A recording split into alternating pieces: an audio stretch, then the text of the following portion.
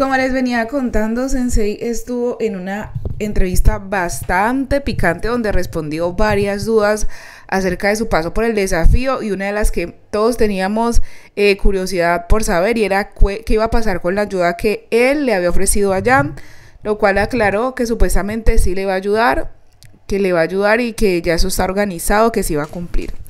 Pero una de las que también llamó la atención fue cuando le preguntaron si él creía que Darling, al haber pensado que podía también llamar a Marlon, eh, pues antes que a Sensei, si, si no se hubiera sido por él, si hubiera llamado a Marlon, que quizás de pronto Darling no hubiera podido ganar, lo que Sensei respondió que no, que porque el desafío necesitaba experiencia y pues que Marlon no la tenía por su poca participación.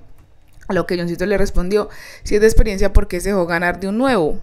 Cosa que obviamente no supo cómo responder. Lo cierto es que ahí dejó entrever que él se cree muchísimo mejor competidor que Marlon. ¿Ustedes qué opinan? Ah, déjenmelo saber en los comentarios.